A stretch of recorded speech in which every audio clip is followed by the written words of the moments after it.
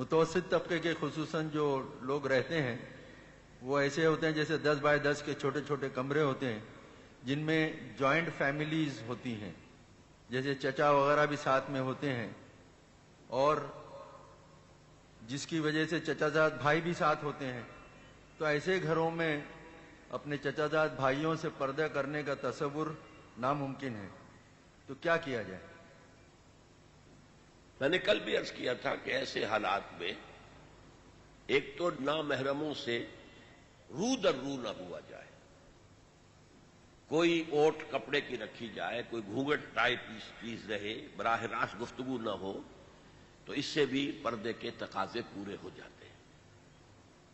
ये तो हिंदुओं के यहाँ भी बहुत रिवाज था।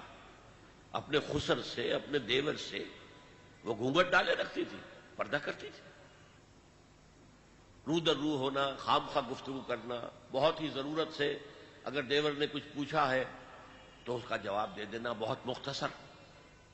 और उसमें भी आवाज़ में लोच ना हो, जैसे कुरान में आया, वला तखजा न बिल कौन कि नरमी पैदा न करो अपनी आवाज़ में, जिससे कि खाम खा अगर किसी के दिल में कोई खराबी है तो उसके दिल में कोई आरज़ू पैदा हो जाए, उम्मीद पैदा हो जाए कि इनका कोई रुझान मेरी तरफ़ मालूम होता है। तो इन हिदायत के साथ ये जो हालात ऐसे हों मजबूरन तो उसके अंदर पर्दे की वो रिस्ट्रिक्शंस नहीं होंगी, जो ऐसे घरों में जहाँ आपको कुशादगी हासिल है। और बेहतर यह है कि अलहदा अलहदा घर हो, छोटे से छोटा घर हो, लेकिन अलहदा घर हो।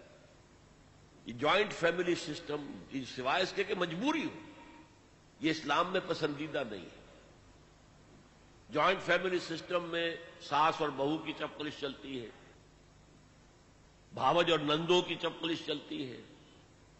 दो भाई हैं, उनकी बीवियाँ हैं, उनकी आपस में चपकलिश चलेगी। मेरे वालिद साहब एक बात कहा करते थे, घर और गोर अलहदा ही अच्छी है। जैसे कबर अलहदा होती है, ऐसे ही घर भी अलहदा ही होना चाहिए। तो इस पहलू से इस्लाम जो है ज्वाइंट फैमिली सिस्टम को पसंद नहीं करता। मजबूरी दूसरी बात है।